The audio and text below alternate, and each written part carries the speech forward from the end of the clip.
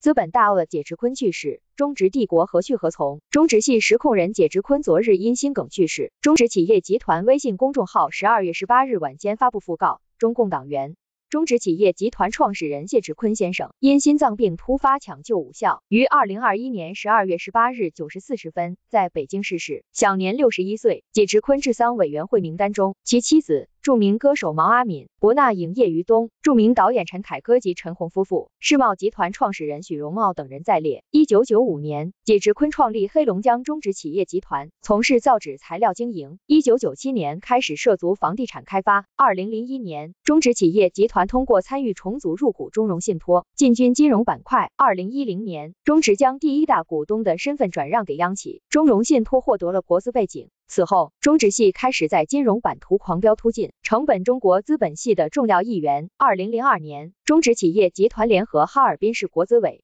黑龙江省牡丹江新材料公司和哈尔滨宏达建设公司等五家企业共同出资重组哈尔滨国际信托投资公司，成立中融信托。中融信托此后成为中植系造血平台，其运作模式大致为信托财富管理提供源源不断的资金支持，P E 以定增的方式参与上市公司融资，多数都通过定增成为二股东，保证掌握公司一定话语权，又能够及时套现抽身，同时也布局热门新兴行业的未上市资产。其后再将这部分未上市资产注入中植系关联上市公司中，做高市值后再质押或减持套现。